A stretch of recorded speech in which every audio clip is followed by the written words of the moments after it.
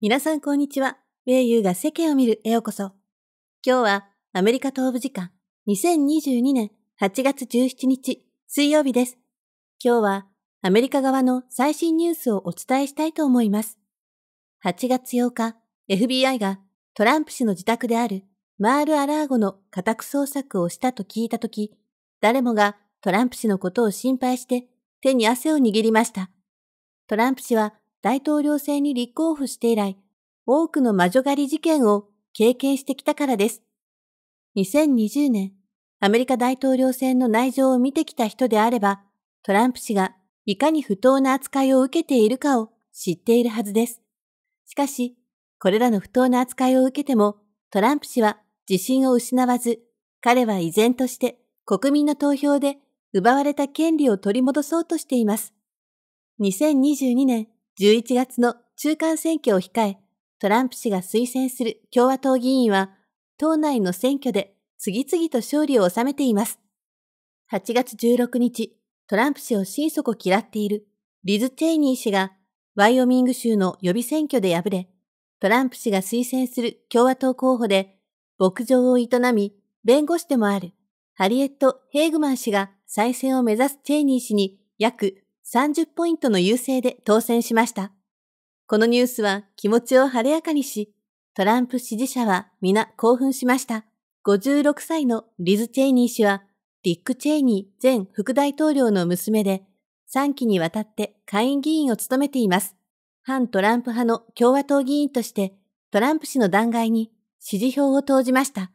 1月6日の国会議事堂の事件を調査する下院の特別委員会を率いて、トランプ氏に不利な証拠を探ろうとしていました。トランプにはホワイトハウスに戻るチャンスをもう与えないと誓ったリズ・チェイニー氏は、今回の予選に負けてもトランプを非難し続けると述べています。リズ・チェイニー氏とはどのような人物なのでしょうか実は、チェイニー一家の中では、リズは保守的なクリスチャンで、妹のメアリーは同性愛者です。リズが同性婚に反対したことをめぐり、二人は仲違いしました。彼女らの父親であるディック・チェイニー氏は完全な保守派ではなく、同性婚の問題には中立の立場を選んでいました。当時、ジョージ・ブッシュ大統領が同性婚を禁止する憲法改正を支持した際、ディック・チェイニー氏は彼と一線を引こうとしました。これらのことから、リズは家族の中で最も保守的であると思われます。しかし、彼女は2020年の大統領選と1月6日の国会議事堂事件でトランプ氏に対抗する立場を選びました。それはトランプ氏がこれまで行ってきたことと関係があるのかもしれません。トランプ氏のスローガンはアメリカを再び強くすることなので、この目的を達成しようとすれば、沼地を一掃することになり、アメリカの利益を裏切った腐敗した一族を議会の席から追い出すことが必要になります。アメリカで知られているいくつかの政治家一族、チェイニー一族、ブッシュ一族、クリントン一族、オバマ一族、ケネディ一族、マケイン一族はアメリカの政治史に、そして今の政治にも影響を及ぼしています。チェイニー一族では父親は前副大統領、娘は国会議員です。ブッシュ一族には銀行家や財界の大物が多く、アメリカ上院議員2人、最高裁判事1人、州知事2人、そして大統領2人を輩出したため、アメリカ史上最も成功した政治家一族だと言われています。しかし、クリントン一族は政治家一族とは言えず、せいぜい政治家家族程度のものでしょう。なぜなら、政治家として活動していたのは、ビル・クリントンとヒラリー・クリントン夫婦だけだからです。彼ら以前には著名な政治家はおらず、ブッシュ一族やケネディ一族とは比べ物になりません。ケネディ一族は大家族で、ジョセフ・ケネディにはジョン・ F・ ケネディ元大統領をはじめ、4人の素晴らしい息子と5人の娘がいました。しかし、ケネディ一族は何らかの呪縛があるようで、1941年から1999年まで一族のうち10人が非業の死を遂げ、そのうち2人の息子は暗殺されました。もちろん政治家一族に問題があるわけではなく、その政治的影響力を利用して儲けること、国益を裏切ることが問題なのです。ですから、トランプ氏がアメリカ国民の利益のために、これらの政治家一族のチーズを動かそうとしているのであれば、両党が手を組んで反対に回るのは理解できることです。リズ・チェイニー氏の敗北は画期的な出来事です。トランプ氏がアメリカの政治に新しい変化をもたらし、それらの政治家一族の名前が次々と消えていくことに人々は気づいています。トランプ氏は16日、ワイオミング州に感謝する。ワイオミング州のおかげで、チェイニーはようやく政治的忘却の彼方へ消えていくことになった。そこにいる彼女はきっと今よりもっと幸せになれると確信すると語っています。そして多くの人がトランプはブッシュ、クリントン、チェイニー王朝を終わらせた。トランプは7年間でこれらの政治家王朝をすべて消滅したと幾同音に話し始めています。もちろんこのように言うのは少し早いのですが、これらの政治家一族は現在政治の表舞台から姿を消したとはいえ、その影響力がなくなり、剣度将来を期すことはないとも言えません。やはり、アメリカの民主主義体制はトランプ氏に反対する人、支持する人、それぞれの異なる声を発信する機会を多く与えてくれます。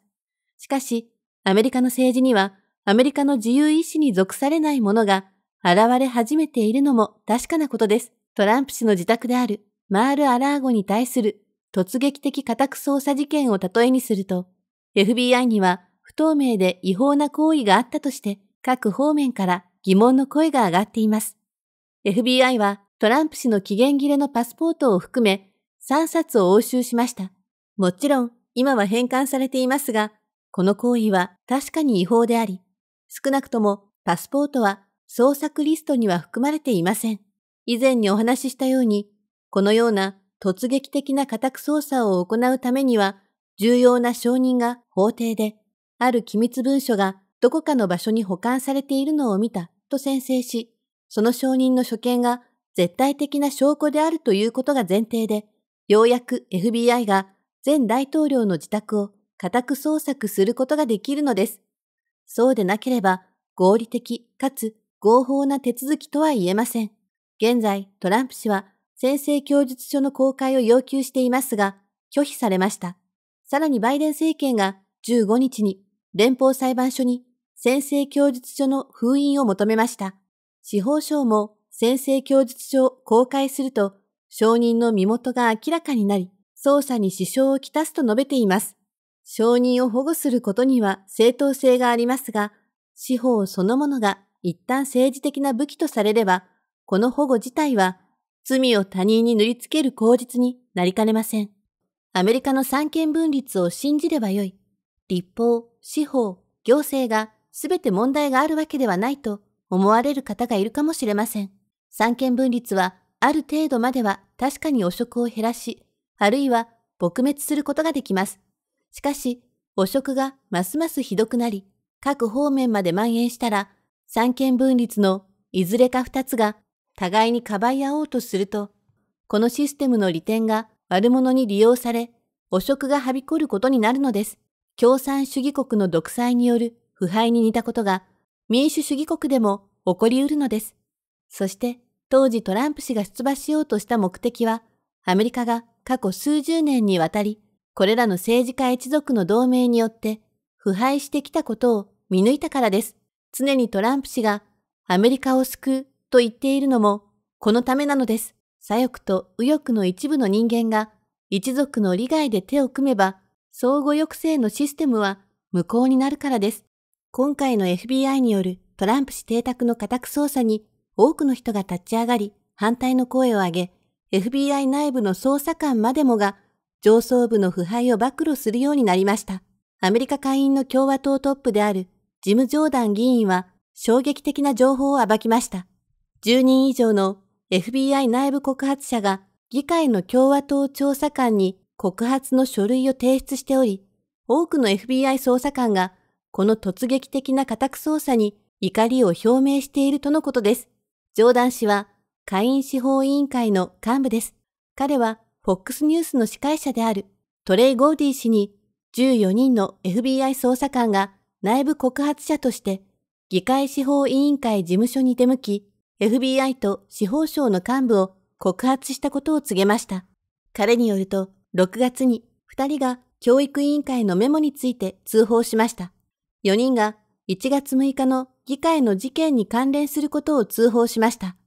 その時、すでにクリストファー・レイ FBI 長官と話をしていました。複数の元 FBI 捜査官が FBI が保守的な考えを持つ内部関係者を粛清していると非難しており、少なくとも8人が今回のマール・アラーゴ襲撃に関連した黒幕を告発しました。ジム・ジョーダン議員によれば、FBI と司法省の腐敗が今、内部工作員の間で話題になっています。もし、11月の中間選挙でトランプ氏支持の共和党が議会で過半数を取れば、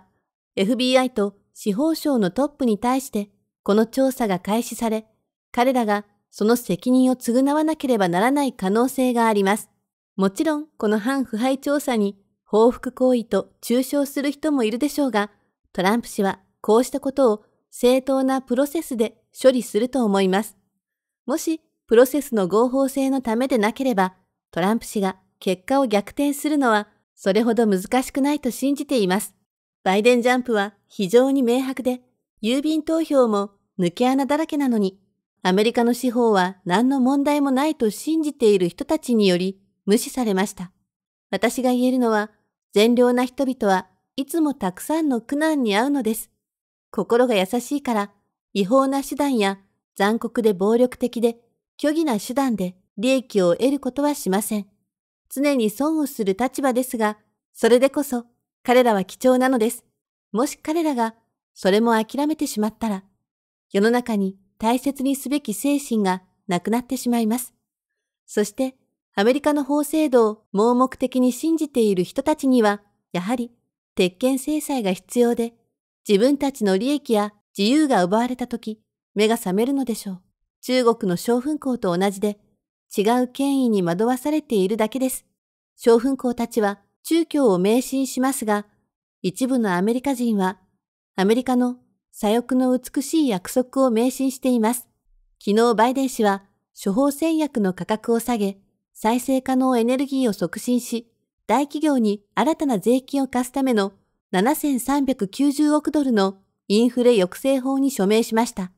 アメリカの8月のインフレ率は8.5%で、先月の9.1%から低下しましたが、過去12ヶ月と比較すると、依然として警戒すべき数字です。バイデン氏の法案は、中間選挙に向けた票集めのためですが、インフレ抑制には何の役にも立たないと、共和党から攻撃されました。特にこの法案では、アメリカの IRS に800億ドルを出資して、新しい職員を雇い、脱税を取り締まることになります。国税庁の最新の特別犯罪捜査官の募集広告には、時間外勤務を含め、週50時間以上勤務し、休日も含め、呼び出されたら即座に対応できるように求めると書かれています。また、銃を持って捜索、逮捕、必要であれば致命的武力を行使する業務も厭わないという条件も記載されています。これはアメリカ合衆国内国際入庁の求人情報です。国内国際入庁が司法機関ではなく、税務調査、徴収機関であることは周知の事実です。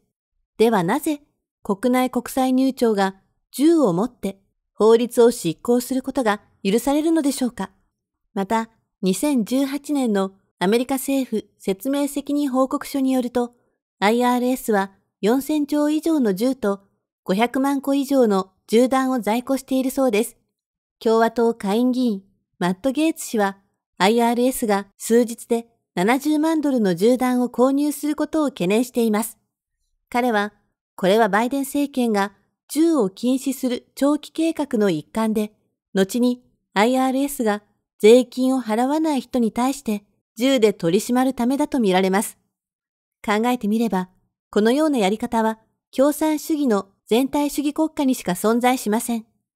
民主主義国家でありながら、これはどういう意味でしょうかそして共和党は最近の監査率と確定申告のデータに基づく控えめな推定では、年収7万5千ドル以下の個人は71万件以上の追加税務調査を受け、年収100万ドル以上の個人には5万件以上の監査が行われたと警告しています。つまり、中小企業の経営者や低中所得者はさらに多くの監査を受けることを意味しています。これはバイデン政権が今後、税制面から歳入を確保するための手段なのかもしれません。多くの人々が自己の権利をますます奪われ、政府がますます強力になっていくことを感じています。しかし、それでもバイデン政権を支持する人は大勢います。なぜなら民主党政権のブラック・ライブズ・マターへの土下座、同性愛やトランスジェンダーの奨励、不法移民の奨励という政策をすべて自由だと考え支持しているからです。彼らは表面的には自由を得て政治的に正しさを持った発言権が与えられていると思っています。しかし気づかないうちに彼らの真の人権は静かに失われています。これは極左政府が国民に伝えないことと同様です。主中の権力で平等の現像を作り出しましたが、実際には皆の自由を奪いました。人々はより多く束縛され、世界が一つの大きな全体主義政府になる。これが未来の発展傾向でしょう。一部の人々はトランプ氏が個人崇拝をしている白人至上主義だ。台湾や女性を軽視する発言だと考えて嫌がる人もいます。実は彼らは表彰しか見ておらず、表面的な言葉に惑わされているのです。先ほども言いましたが、バイデン政権のアファーマティブアクション政策は一見公平に見えますが、密かに多くの利益を奪っています。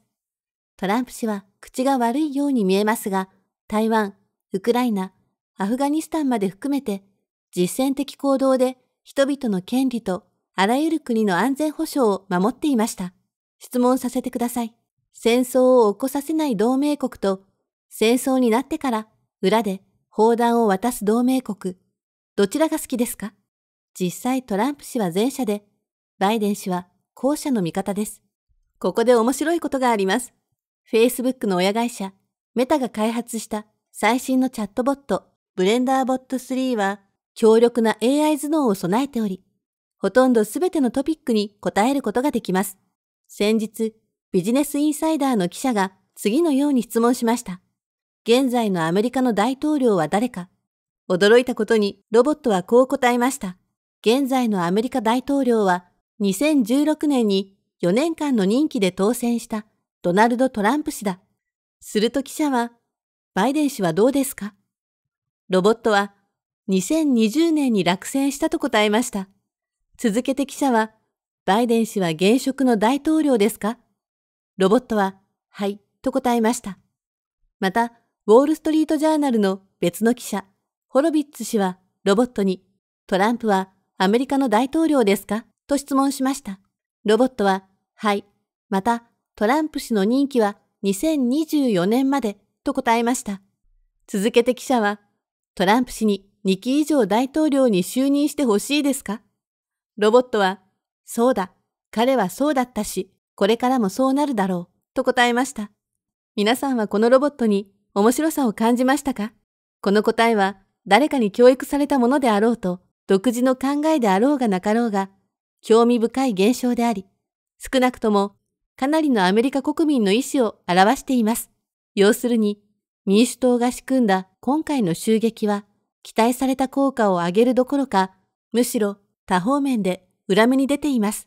数ヶ月間、FOX ニュースから追放されていたトランプ氏が、今回の事件で何度もメディアに露出し、トランプ氏への支持が高まっていることが見て取れました。テキサス州の民主党の女性判事二人が、この度民主党を辞めて共和党に入り、再選を目指して立候補することになりました。今年の再選挙に出馬しない下院議員49人のうち32人が民主党議員です。民主党は現在9人の議員で過半数を占めるに過ぎず4人の空席があります。当然のことながら中間選挙で共和党は過半数を獲得すれば議会を奪還する可能性が高まります。さて、今日はここまでにします。ウェイユーが世間を見る。またお会いしましょう。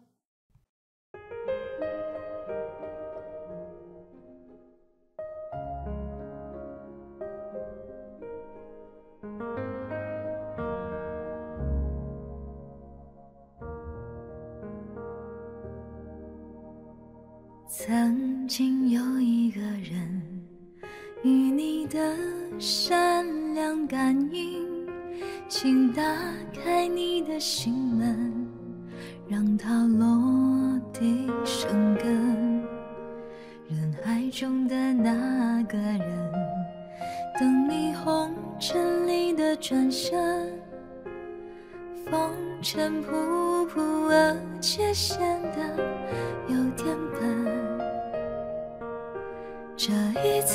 真的相信了，被你改写了剧本。温暖的眼神原谅我对爱没天分。这一次我真的相信了，是被祝福的缘分。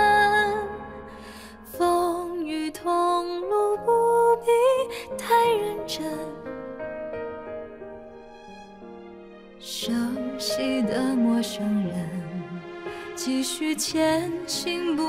必问，这世界还有余温，多少的人还在等，最深爱的人，何苦执着着